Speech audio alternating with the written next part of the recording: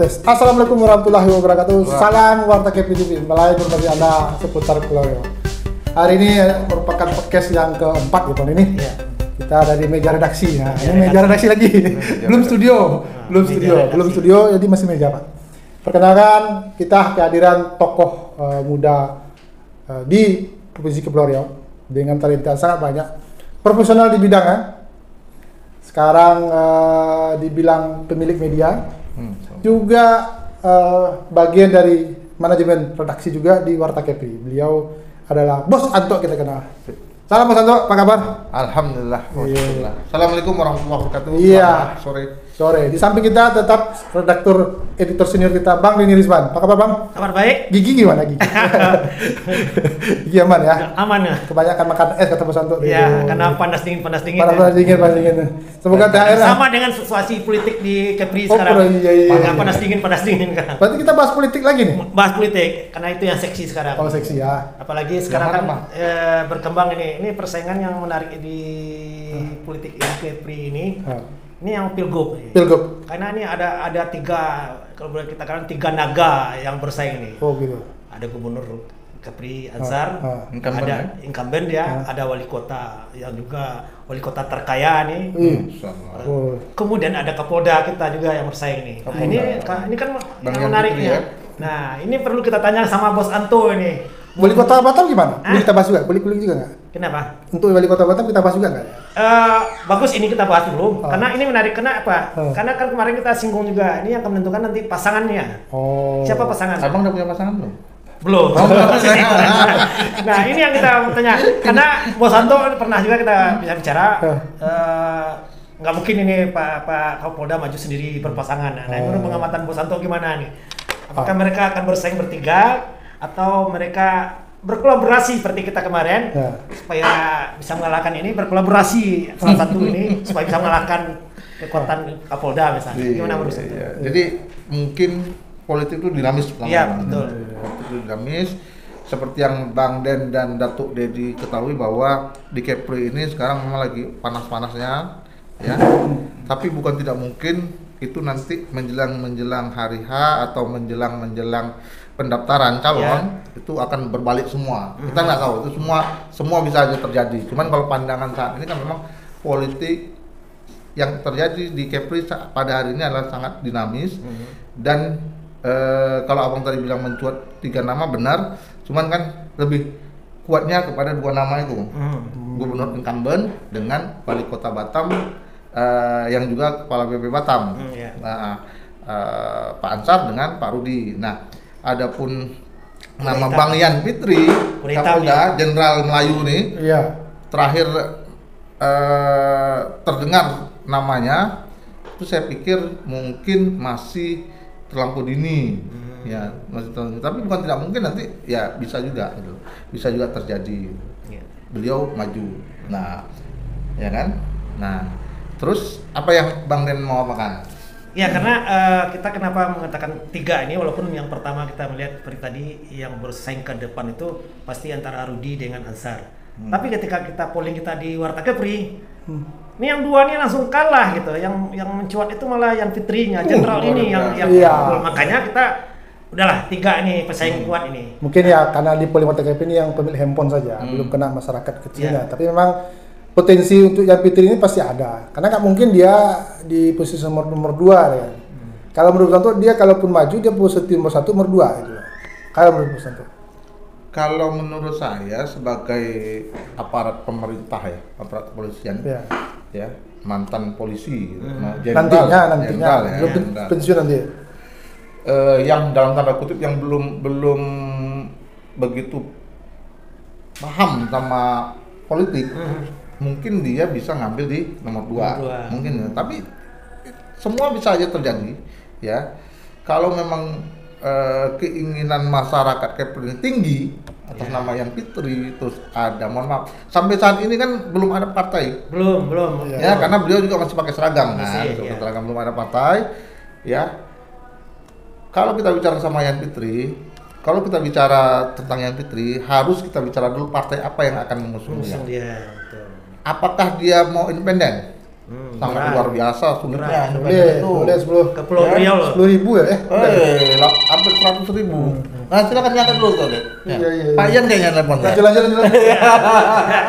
ya, ah, agak berat ya. Agak berat, karena kalau misalnya dia independen dengan jumlah penduduk, jumlah DPT Provinsi Kepri saat ini itu 100 ribu KTP yang harus Iya. dikumpulkan. Dan itu 100.000 tersebar di kepulauan ya? Iya, itu tersebar di, di Kepulauan Riau. Nah, jadi saya pikir memang harus eh, yang paling mudah adalah partai, partai pengusung. Partai apa dulu nih?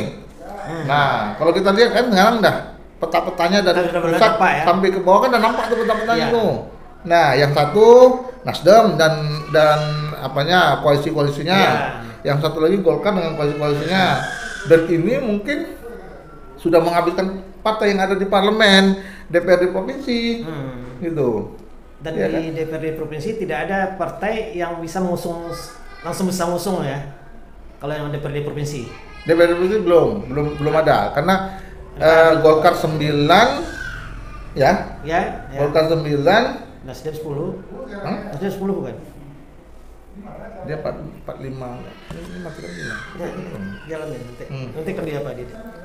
Kalau Golkar 9 berarti sudah bisa dia dia kan sekarang cuma 45 bang. 45.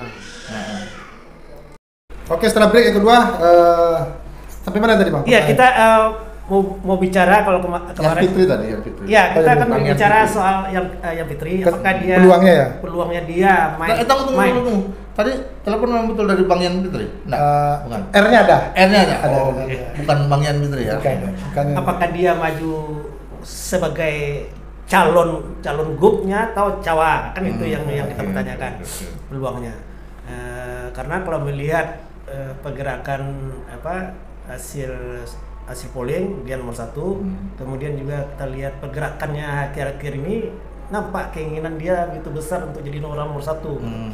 ada Pasar Murah, kemudian Safari Ramadan kan jarang-jarang itu biasanya. Iya. Mereka kan Polisi, join itu. polisi bikin pasar murah ya? Pasar murah. Pasar murah kan biasanya yang jarang-jarang. Biasanya kan mereka tandem itu dengan dengan eh, provinsi biasanya. di Liga Ramadan. bagi tak bagi sembako, Polres, Polsek, Ya, yang nambah itu juga. ya. Nah, kan nampak di sana. Kan polisi sahabat masyarakat. Iya, iya, iya juga. Sahabat wartawan juga. Ayan, sahabat kita ya, Pak. Kapan daerah, Pak? Oke. Nah, itu no, gimana Nur? Kemudian kan, kan terakhir juga Jadi muncul, gini, nih, Bang. muncul juga nih Pak- Dari hasil pileg kemarin aja lah kita lihat ya. Dari hasil pileg kemarin kan itu eh, ada yang bisa mencalonkan langsung ya, Iya. tanpa harus berkoalisi ya. Koalisi. Nah, Siapa? Golkar itu ada 9 kursi. 9 kursi ya? 9 kursi. Dia target berapa? Minimal berapa? 20% dari 45 kan 9. Sembilan. 9 kursi. Pas ya? 10? Nah, Sembilan. 9 kursi. Oh. Dua, 20 persen kan? Hmm. Kita kan masih pakai 20 persen. 20 persen dari 9, eh dari 45 kursi yang ada di DPRD itu kan eh, Golkar udah bisa ngusungan tanpa Sendiri tanpa- ya? Sendiri. Dan Gerindra juga. Oh. Nah, Gerindra ini Iya, iya, luar biasa. iya, Nah, iya, iya, jadi iya. kalau menurut saya, kalau Ah. memang Eh, Bang Yan betul-betul punya keinginan ingin maju, kalau Golkar tentu pancar. Iya, iya. Iya kan? Jelas. Gubernur incumbent kan? Nggak Iya. mungkin karena itu partainya. Dari zaman dulu juga dari Iya. partai dia. Nasdem bisa juga. Nah, eh, kalau Nasdem kan tentu sama, sama Pak Rudi kan. Iya. Harus Ya. koalisi lagi dia. Harus Oh. Nasdem tuh dapat tujuh, tujuh, tujuh kursi, dia kurang dua kursi saja. Nanti koalisi Nasdem. Nah, harus koalisi. Nah, Ya, Gerindra. kalau Bang Ian ya Bang Ian ingin dan ini meng- lebih menggampangkan berarti ya harus dengan yang namanya Gerindra. Beli kursi. Tapi sebelum bicara beli kursi, kita dengar azan dulu. Kita pause dulu ya, kita sholat dulu. Lanjut. Alhamdulillah, alhamdulillah. Tadi azan kita dengar ya mungkin kita lanjut tadi soal kepeluang uh, Pak Yan Fitri Dan pasangan-pasangan. pasangannya Ini untuk kamera udah mulai merah-merah nih. Oh iya iya Ini, iya. ini. iya. Iya, Maklum Ini agak lah. merah nih. Ah, Ah. agak eh, mejar. dah, merah nggak nih? Dah. Ya. Agak goyang. Ah, kita angkat sedikit. Ah. itu namanya bicara redaksi ya. meja redaksi. Ini meja, ini meja di sini, podcastnya di sini saja. Ah, Oke. Iya, iya, iya. Peluang Pak Yan Fitri maju hanya dengan Partai Gerindra kah atau dengan partai lain? Bagaimana? Bisa. Jadi kan mau partai apa juga yang penting dia dia punya kursi di DPRD provinsi. Ya. Nah, minimal jumlah kursi partai pendukung dia tuh 9 kursi. Mau mau dia pakai Nasdem, mau dia pakai Gerindra, mau dia pakai Golkar, mau dia pakai PKS, mau Iya. dia pakai eh, PKB, Ya, ya. ya kan? Harus total semuanya itu harus 9 Sembilan kursi minimal. Tadi kalau di kan dari BD itu itu empat jeda azan, Golkar 9, Hmm. maju sendiri. Ya. Gerindra 9, bisa, maju sendiri. Bisa maju sendiri. Nasdem 7, Maju harus koalisi. Harus koalisi. Cari partai kecil lain. Hmm. Artinya ti- kalau memang tiga calonnya ada kan gitu loh, Hmm. maju kan dan Hmm. kuat dana nih. Iya. Dan peluang kalau Ansar eh, gubernur Saya pikir Bang Yan harus mendekati mendekati Gerindra karena saya pikir Gerindra tidak mempunyai calon. Belum mempunyai calon. PDI gimana PDI PDI? PDI Kurang ya, sekarang ya? Dia kan tujuh juga soal kursi. 7 juga kan? PDI tapi ya PDI biasa kader ya. Kader ya. Kader ya, kader. Kadernya paling tinggi Romo nggak maju lagi nggak ya? Kayaknya enggak. Enggak. kalau di bawahnya kan sekjen tuh, sekretaris Pak Lis Darmansah. Pak Lis Adiknya Pak Yan Fitri. dia mau maju di Tanjung Pinang. Oh, Palis. Beliau beliau maju Pinang untuk Tanjung Pinang. Nah, ya kan kita lihat ini dari nama yang mencuat dari partai yang tadi Hmm. kan kayak Gerindra kalau kita lihat dari calonnya nama yang muncul ya Hmm. tidak ada calon dari Kayaknya ya. belum, karena- ada.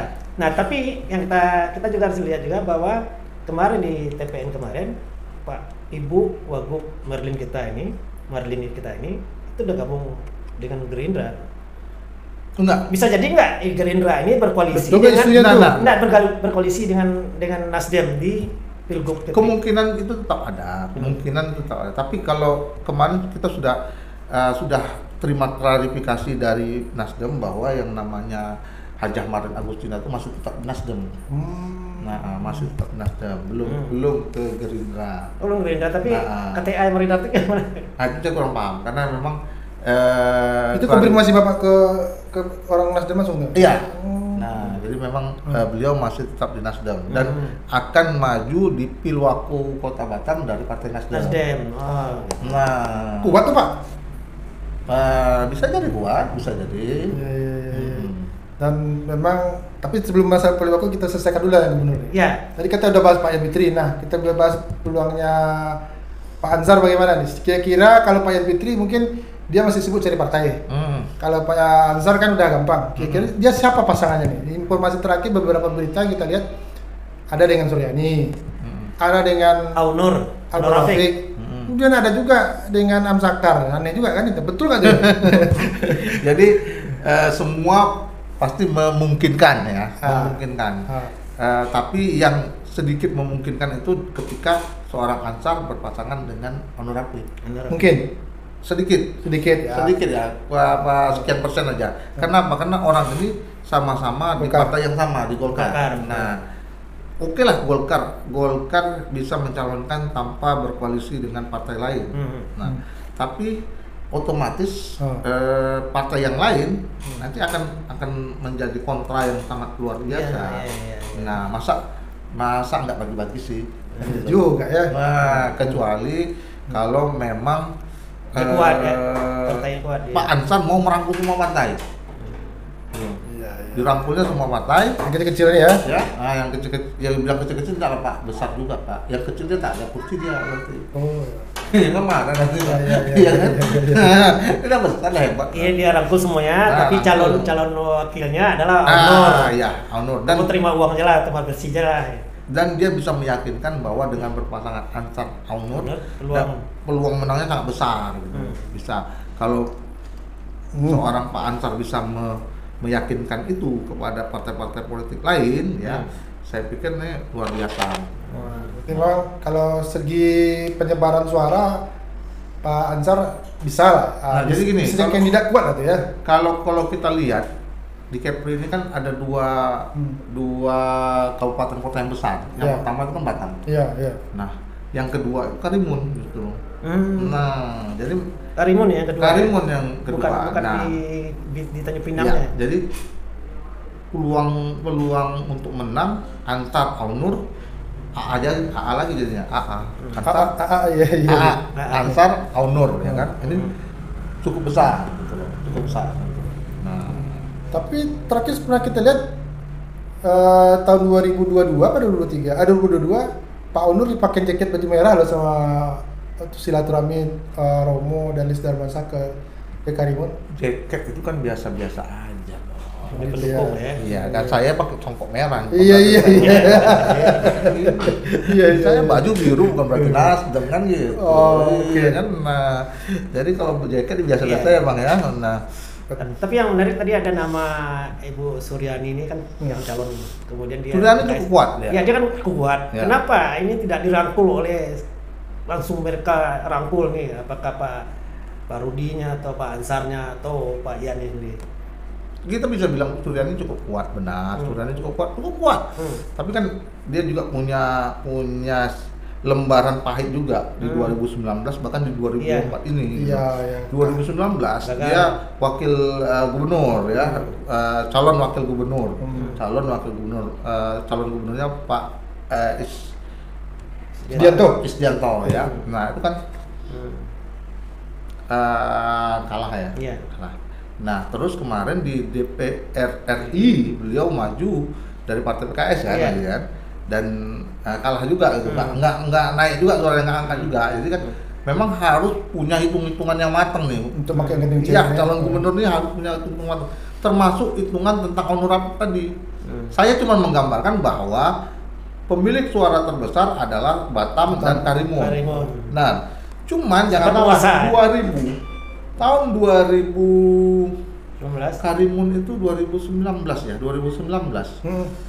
Itu suara. Aunur Rafiq dengan suara Ing Skandar. Skandar itu Hmm. cuma bedanya berapa? 6 pas 10 ya? Nah, Tipis. artinya kan padahal pada saat itu dia incumbent. Incumbent betul betul. Nah, jadi bukan bukan bukan berarti dia penguasa nah penguasa dia Karimun. dia punya karimun bahwa dia punya karimun dia menjadi pemenang saya belum juga. Hmm. Karena memang banyak harus banyak hitungannya. Artinya di sini perlulah kejelian menghitung siapa sih yang menguasai Hmm, daerah benar. ini. Nah kita coba baca dulu polling warta Kepri yang kita mulai dari 1 Maret dan berakhir nanti 1 Mei. Per hari ini tanggal 29 Sembilan Jumat Jumat Maret. Jumat apa ya? Jumat berkah kan? Jumat berkah Oh, Jumat berkah sama sama Paskah. Eh Paskah kali ini ya? Enggak ya? wafatnya Hari Raya Yesus Paskah. Kristus. Ya. Ya dijelaskan di sini Irjen Pol Yan Fitri Halimanza dapat 38,93 persen. Wih, Turun bang. Turun, kemarin ya. minggu kemarin 40, 42 ya. Iya. 80 ya. Sekarang Ansar eh, sementara nomor 2 Ansar Ahmad 25,54 Masih persen. pa- masih pansar ya. Standar. ya. Hmm. Dan yang ketiga Pak Haji Muhammad Rudi 21,33 persen. Kemudian disusul yang eh, Bupati Karimun Dr. Andes Haji Aunur Rafiq 5,27 persen, 5 saja. Kemudian di bawahnya lagi ada eh, mantan wakil gubernur kita Romo Suryo, sudah sudah sebetulnya hanya 3,74 persen. Ada juga nama Jumaga Nadia 3,29 persen dan ada Asman Nur cuma 2,17 persen. Artinya Nah. dari nama Aunur Rafiq ke bawah itu tidak ada tembi- tembus angka dua digit. Sementara yang dua digit yang, yang dua digit tiga besar tetap Pak Yan Fitri, Ansar Ahmad dan Muhammad Rudi. Nah ini gambaran nih. ya. Tadi kalau kita bicara masalah wakil, ya Hmm. wakil ya. Iya, Iya, ya, wakil yang menentukan ini. Kalau kan. gubernur calon gubernurnya udah pasti ya. Insya pasti, lah, udah. mendekati pasti lah. Sudah mendekati Paling tiga tidak yang, yang dua, dua, dua pasti ya. Ya. Yang dua itu paling tidak udah Hmm. pasti. Nah, saya tertarik dengan eh, nama. Opung Jumaga Nadia. Opung Jumaga. Hmm. Opung Jumaga Nadia. Ya. Wow. Nah, Analisanya gimana itu Pak? hmm? Bisa tertarik seperti apa? gini, Suaranya kecil di sini. Memang suaranya kecil, Ah. cuman jangan salah. eh, Etnis. kalau Bukan ini. kalau boleh juga kita tarik sedikit eh, bahwa politik itu tidak akan lepas dari identitas Hmm. Iya, iya, ya kan politik itu tidak akan lepas dari identitas jadi eh, mau tidak mau suka tidak suka bahwa eh, Opung Jumaga Nadea itu Berpeluang ya. berpeluang karena apa ketika nanti eh, teman-teman saudara-saudara kita yang Batak. yang dalam tanda kutip Bermarga. bermarga ya dari Sumatera Utara Agak lain ya. Agak pasukan, lain gitu ya. pasukan bermargaan ya. agak Iya. lain. Eh. Nah, itu bukan bukan tidak berkesempatan mendongkrak suara dari eh, pasangan mereka gitu loh. Iya, iya, iya. Nah, Secara angka populasi war- warga Batak dan Medan ini hampir 25% di KPI. wih luar biasa itu 25% itu. Di- bersaing dengan Jawa kan Hmm. gitu ya. Saya rasa udah, udah lebih dari 25%. 25% ya. Lebih dari 25%. Apalagi karena kapal kelut ke darat dari Hmm. agak rutin. Coba Bapak bayangkan di, di daerah yang terpencil sana di satu pulau Hmm. bukan pula dia nambas Hmm. di terpencil lagi dari lambat, Ah. udah ada orang berpartai. Iya kan? Nah, Plus Katung itu. Nah, ya Plus kan? Katung Natuna Paling Ujung Dekat enam sana. Udah pernah saya datang, Pak? Nah, Oke. ada lu. Jadi Nah, artinya tambal ban kan? jadi artinya di sini eh, wakilnya nih penentuan wakil Iya. ini juga juga harus hati-hati karena Oh, dia juga nah, menentukan ya. karena, karena dia sangat me- Menentukan ya. sangat memberikan apa peluang gitu loh. Hmm. Harus harus orang Kira-kira cocok dengan siapa Pak Jumaga ini? kalau semuanya joker sebenarnya Jumagan. Joker ya. Joker. Karena, Karena- dia punya partai Ah. PDP. Iya. Ya kan? Terpilih lagi ya. terpilih lagi dia Iya. punya partai PDP punya kursi di sana juga Tujuh. ah, tujuh kursi di DPR provinsi Ah. ya kan nah Tapi juga harus kan dilihat juga kalau memang dua ini yang bersaing, Rudi dengan Pak Ansar yang bersaing. Nah kan juga mereka harus punya misalnya Pak Rudi sebagai pengusaha Batam, kan dia harus mencari calon wakilnya itu jangan di orang Batam juga gitu. Begitu juga dengan apa? Pak Rudi orang Tanjung Pinang. Enggak, Pak. karena dia boleh katakan kan wal, wal, Iya. Ya, ya, Mas. wal- Dia Tanjung Iya, Pinang. dia, kan? dia, Kan dia beliau orang. Tanjung Pinang cuma Tapi kan dia memang betul dia bang bang Denny betul bahwa dia sudah berkiprah di Batam ya Iya. Hmm. itu hitungnya dari situ benar Hmm. nah tapi jangan salah yang tadi saya bilang Jumaga itu Mhm. dia mau dia orang Sumatera Utara Iya betul. Hmm. Iya kan? Hmm. Kampung dia di Batam iya, di Tanjung Pinang iya, di Iya. Bintan iya, Hmm. di Natuna iya, di Danang Mas iya. Iya. Iya kan? Kamari masuk istilahnya. Nah, Iya, iya. Kalau menilai saya, kalau menilai kalau untuk betul Pak Jumaga Joker, dia bisa masuk ke ke, ke Fitri kalau digandeng. Kalau Pak Ansar tidak mau pakai dia, ya mungkin masuk ke Pak Rudi. Kalau misalnya mau dipakai Pak Ansar, nanti itu juga bagus juga. Tapi ya Joker dia, Joker. Karena melihat kesukuan. Karena walaupun memang di, di- kita baca tulisan dari eh, teman kita siapa Eh, DPD yang kalah si Ah, Martua Martua. Martua Buta Buta Pak, dia sedih. Tiga kandidat dari Me- dari Medan DPD kalah semua. Hmm. pecah gitu. pecah artinya dia mengakui dengan tiga maju salon ini tidak ada satupun yang jadi. Hmm. padahal sebelumnya 2019 sampai 2024 ada perwakilan satu orang dari uh, Sumatera Utara. Ya. dengan tiga maju dari dari perwakilan dari Sumatera Utara di 2024 DPD ini gagal semua. Artinya membuktikan pecah maju pun berkekuatan tiga orang yang maju bikin suara perwakilan uh, Batak di DPD untuk Kepri tidak ada. Nah ini pelajaran juga artinya memang kalau seandainya Pak Jumaga satu nanti maju bisa jadi suaranya maju. Karena kalau dikumulasikan kemarin tiga orang itu hampir 150 ribu kata uh, ma- Iya, iya, kan bisa meloloskan si ini kan ah, calonnya. Ya itu dia. Mereka harus bersatu. Ya Nah, mereka harus bersatu supaya bisa untuk mencalon kuat. Dan egonya ini harus egosentris. Egonya ini harus ego Ya. ego oke lah kesukuan lah kita bilang lah media lah itu. Ah. politik pemodern Nah. jalan lagi lah kayaknya. Nah jangan lagi, ya, jangan lagi ada calon lain yang maju dari mereka gitu loh. Nah kalau ada calon lain yang maju dari mereka, otomatis itu kan akan pecah suaranya. Begitu juga kalau seandainya itu kan dari suku suku uh, Batak nih. Kalau dari Jawa siapa kira-kira? Romo nggak jadi mungkin maju itu siapa lagi ya? Ya, Masa Romo. tokoh Jawa nggak ada yang ada kuat di, di PDI ini? PDI, Ya, PDI. Atau Iya. yang lain. Siapa ya? apa? Karena kalau yang kalau bicara Jawa kan kita selalu Kalau untuk PDI, Pak Rudi ya. kita udah jelas Nasdem dia dengan dengan uh, di bawah kekuasaan dia di Kepri ini dan membuktikan keberhasilan dia membangun Batam dan mem- mem- menaikkan ekonominya. Siapa pun wakilnya uh, akan tetap di- menentukan dalam posisi penyebaran suara mungkin Iya, di daerah lain gitu loh. Kalau untuk untuk Batam mungkin udah sulit nih. Terpecah nanti ke- kalau seandainya nanti calon Pak Ansar atau calon Pak Yan Fitri atau calon ada dari orang Batam lagi gitu loh. Ya berapa kesempatan kan kita dengar Pak Rudi menyampaikan bahwa eh, dia mencoba mengambil 80% suara dari Batam. DPT Batam. Iya, ada Batam. Ya, dari Batam itu minimal dia 80%. Satu DPT satu tiga ya, satu dua, satu jutaan ya. Ya. Berarti- Karena pemilu tahun 2019 kemarin 360 ribu menang, 360 ribu suara duduk jadi gubernur di Ya. Kepri ini. Ketika calonnya. Ya tiga Tiga calon, calon. ya tiga calon wanita ya. Ketika calonnya. Kalau dua calon kan tentu akan lebih besar, berat ya. Berat, berat. Tapi menurut bapak kira-kira jikalau saya kami berdua fokus sama bang ini, kira-kira seandainya Pak Fitri menguat, kandidat wakilnya kuat juga. Hmm. Dia ada intervensi intervensi apa lah itu. Hmm. Majulah Pak Fitri satu dengan pasangannya. Pak Rudi sama Pak Ansar bisa nggak berdua mereka maju? berkoalisi Maksudnya berkoalisi? Iya.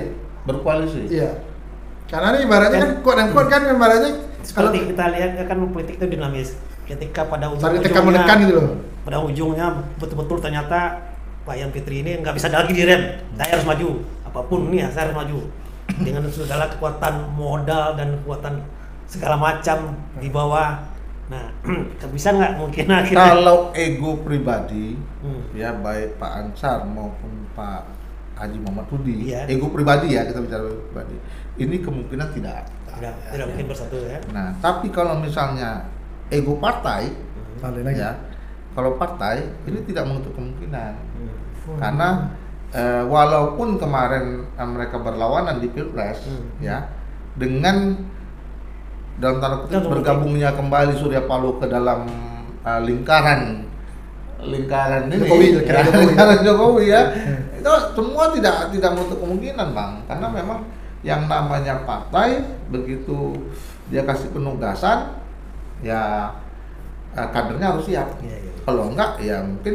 kadernya harus mencari partai lain nah, Betul itu. nah Saya kaget 2019 siapa nyangka Bu Marlin jadi wakil. hmm. Sementara eh, ego politik tinggi antara dua ini gitu. Luar biasa lah politiknya. Bisa jadi bisa jadi itu. Tapi kalau memang terjadi tiga pasang itu pilkada di Kepri akan lebih menarik. tiga pasang ya? kalau kalau kita melihat melihat orang nih mulai keras kurang kepala menarik. Kurang menarik, ya? kalau saya justru kalau tiga pasang ini jadi tidak menarik lagi Tidak menarik ya. Tidak. tidak menarik. ya. saya udah tahu kalau tiga pasang udah tahu saya pemenangnya siapa Iya jelas. Iya Nah, iya iya iya. ya, saya nggak iya. ngomong lah udah tahu ya pemenang siapa kalau tiga pasang ya dan sama da, ya apa namanya kekuatannya imbang-imbang lah Iya. pertama ya udah tahu saya siapa yang menang nah tapi kalau dua pasang ah ini yang baru Head to head. keren ya kan barulah atur, atur strategi Hmm. dan atur apa kan iya atur strategi pendanaan distribusi Hmm. siapa yang mau disuap macam mana Aduh. Oke, eh, itu provinsi. Mungkin kita eh, lihat pilkada eh, pilkada Batam. sudah lah provinsi aja pak Provinsi aja. Batam sih. Kira menurut Batam sedikit aja, 5 menit aja. Batam saya Karena ini polling terakhir ada menyatakan eh, Liberties itu Pak Amsakar naik nih. Lebih unggul daripada Bu Marlin ini. Benar. Nah, kira-kira kira-kira apakah ini akan men- me- mencerminkan hasil akhir nantinya atau tidak menurut Bu Santo bisa berubah atau memang ini Batam ini mereka ini orang hebat dua-duanya ya ya Bang Am hebat, Bu. Marlin juga hebat. Bu Marlin wakil gubernur, Bang Am wakil wali kota yang Iya. udah dua udah 10 tahun ya, dua dua periode ya, dua periode Hmm. menemani Haji Muhammad Rudi menjadi wakil wali kota Batam. iya ya Walaupun akhir-akhir ini semenjak kemarin itu semenjak semenjak semenjak lah eh, semenjak semenjak itu Ya. dikabarkan beliau sudah tidak masuk ke kantor lagi. Iya, iya. Nah, tidak eh, lupa kunci kantor lupa enggak? saya saya yakin eh, mungkin enggak lah. Enggak, ya. masih ada. Cuman siapa pun yang terpilih nanti orang ini dua-duanya hebat. Hebat. Iya. Cuman yang saya sayangkan Hmm. langkah Amsakar untuk mengambil eh, independen jalur independen itu sangat disayangkan. Hmm. Nah, karena walau bagaimanapun yang namanya jalur independen itu sangat sulit Oke pemirsa kita lanjut posket minggu depan terima kasih